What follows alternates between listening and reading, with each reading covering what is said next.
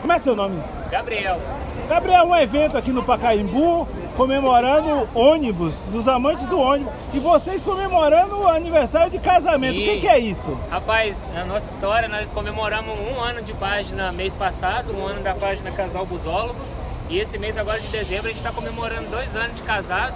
E a gente aproveitou esse evento para estar tá comemorando junto aqui com nossos amigos, encontrando nosso amigo Silvano, do canal Silvano Motorista Buse.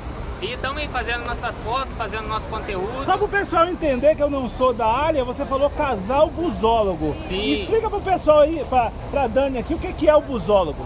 Sim, o busólogo é aquela pessoa que se dedica a, a conhecer, a estar tá se informando mais sobre os ônibus, desde chassi, chassi é, carroceria, é, motor, parte interna, externa, quilometragem, pintura, história da empresa e por aí vai. É aquela pessoa que se dedica, assim como uma pessoa se dedica a gostar do futebol. Essa é a nossa paixão, é os ônibus. É então vocês são amantes dos ônibus. Sim.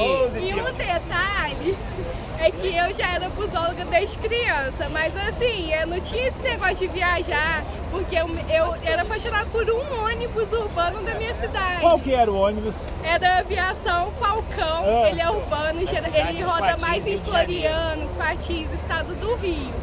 E aí, quando a gente se conheceu, a gente começou a namorar e tal.